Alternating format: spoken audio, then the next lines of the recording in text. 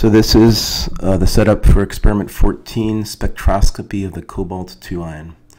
The first thing you're going to do is, um, when you come in, you'll have already calculated how much of the cobalt-2 nitrate hexahydrate you need to dissolve in a 50 ml volumetric flask with DI water to make, um, make about 0.15 molar solution. So you have this done, you'll figure out about how much you need to, to weigh out. You weigh it out, put it on some weighing paper, add it into your 50 ml volumetric flask, which you'll get from Brian.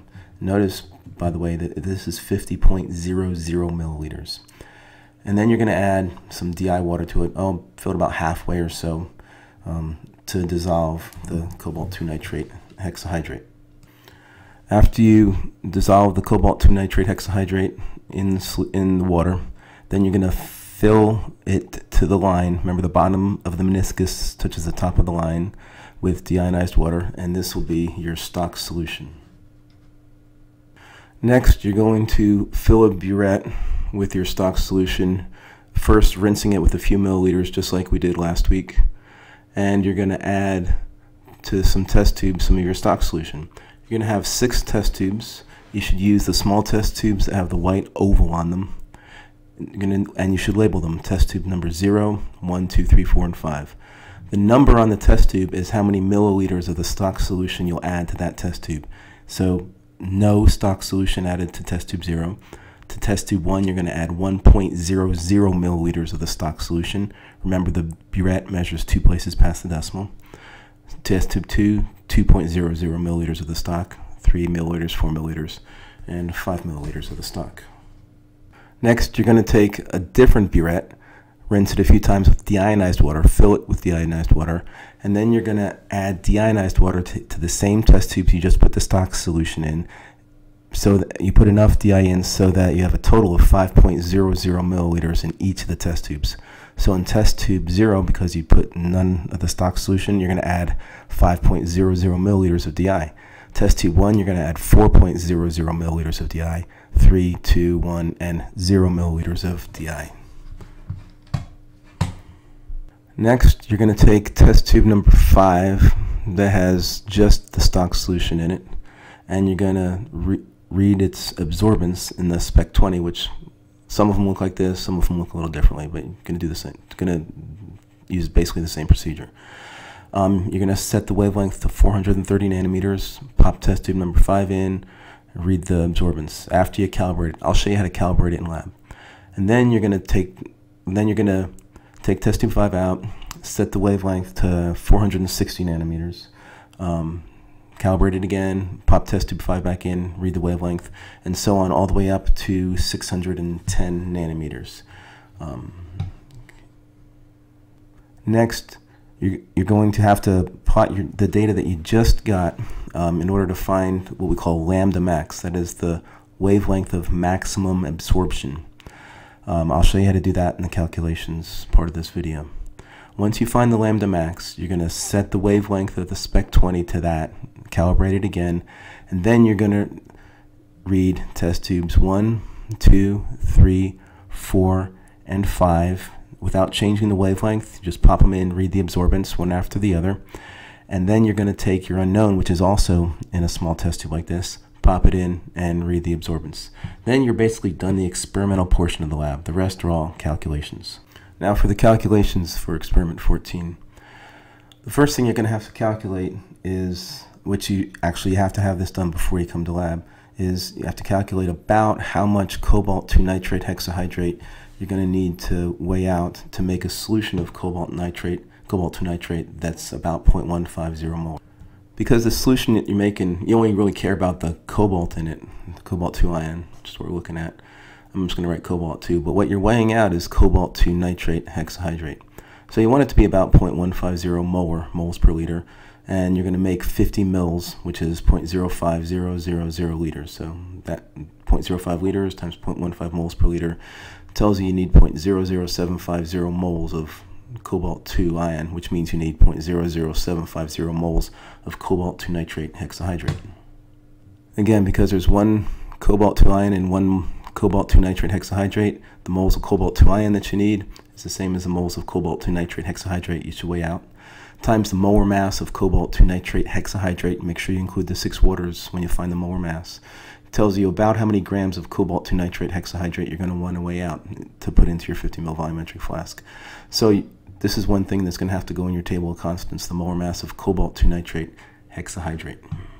Next, once you actually weigh out the cobalt 2 nitrate hexahydrate, you have to find out how many moles you actually put into your 15 ml volumetric flask. So you, this is how much you weighed out. Remember, this is how much you calculated you should weigh out approximately. This is how much you actually weighed out, and they're probably going to be different numbers.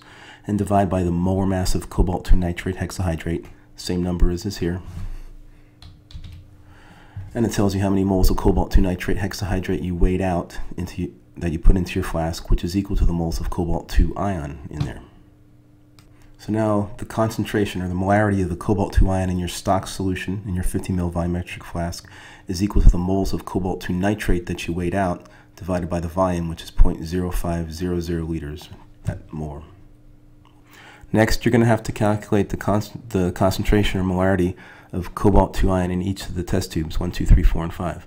For test tube 1, you're going to use, well, for all of them, you're going to use M1V1 equals M2V2, solving for M2. That's the molarity in the test tube where M1 is the molarity of your stock solution. So for the molarity, the concentration of cobalt 2 in your test tube 1 will be the volume that you added to the test tube, which is 1.00 milliliters, divided by the total volume after you diluted it, which is always going to be 5.00 milliliters here, times the molarity of your stock. This is what you calculated right up here.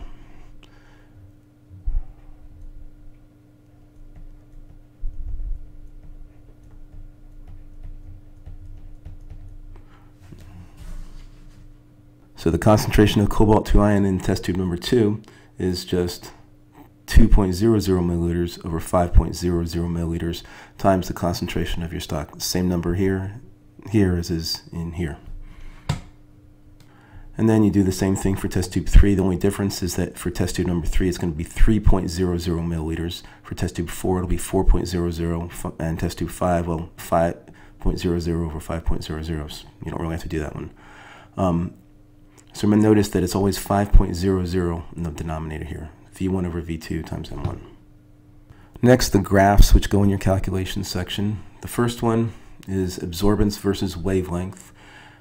Absorbance on the y-axis, wavelength in nanometers on the x-axis. Um, you can't scale it yet because you don't know what your absorbance readings are going to be. But on the x-axis, the the lowest wavelength is going to be 430, and then you're going to have you're going to um, scale it, you know, evenly all the way up to 610 nanometers, which is the, the longest wavelength. Then you're going to plot absorbance, you know, your absorbance versus your wavelength. This is where you use just test tube number five, and you change the wavelength each time. You're going to plot. You're going to plot the nine points and draw the best fit straight line. Please don't draw it like I did by hand. Use a straight edge and draw the best fit straight line. That's going to be your plot for um,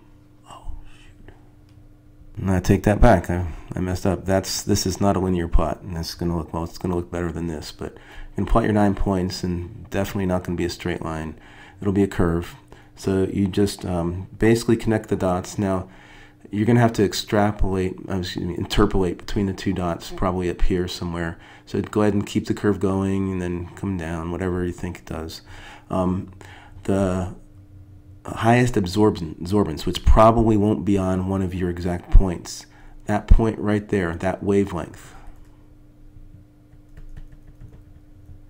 This wavelength right here, that's what we're going to call lambda max. And this is the wavelength that we're now going to set the spec 20 at and do the rest of the experiment at that wavelength. Next, you're going to plot absorbance versus concentration of the cobalt 2 ion. This is when you found your lambda max, set it there, set the sub 20 there, and then measured the absorbance of test tubes 1, 2, 3, 4, and 5. So um, again, you can't scale it before you come to lab because you don't know what these numbers are going to be. Um, remember, by the way, keep um, at least a half of a page of your, your graph paper um, for each of the graphs. They have to be at least half of a page. Absorbance has no units, by the way. That's why there's no units over here, but make sure you put the units on them for the concentration of cobalt 2 and for the wavelength. So this is the one that's going to be a straight line. So you, um, you're going to plot your points, draw the best fit straight line. Again, not like I did. Please use a straight edge. Draw the best fit straight line through the points. And that's going to be your curve. Next, you're going to find the absorbance of your unknown that you measured in the spec 20 on your y-axis. Draw a dashed line straight over until you cross this line here, the best fit straight line that you drew. Again, drop a dashed line straight down. Where that line touches the x-axis, that's the concentration of cobalt-2 ion in your unknown, which is what you're trying to find. And finally, um, you're also going to calculate the concentration of cobalt-2 ion in your unknown using what's called Beer's law. C is the concentration, A is the absorbance that you read from the spec 20, and epsilon and B are, are constants. Where you're going to get epsilon and B is from the slope of this line that you drew right here. Because this is the equation of a straight line, y equals mx plus b, where the y-intercept is 0 m would be epsilon b, which is the slope. So you're going to find the slope of this line. Remember, slope is rise over run, or y2 minus y1 over x2 minus x1. Again, don't choose points that you, you plotted. Choose points on the line, one up here somewhere and one down here somewhere that aren't plots, points that you plotted. Plug them into here for y2, y1, x2, x1. Get the slope. This is supposed to be an m, which is the slope, which is equal to epsilon b. Get that number, put it in here. The absorbance, the A is the absorbance of your unknown that you measured from the spec 20.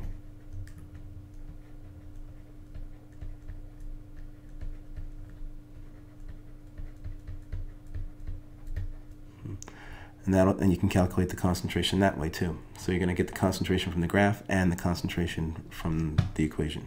And finally, the constants in the data sections. For the constants table, you only need one constant. That's the molar mass of cobalt-2 nitrate hexahydrate. In the data table, you're going to have to have a place for the mass of cobalt-2 nitrate hexahydrate that you weigh out to put into your 50 ml volumetric flask.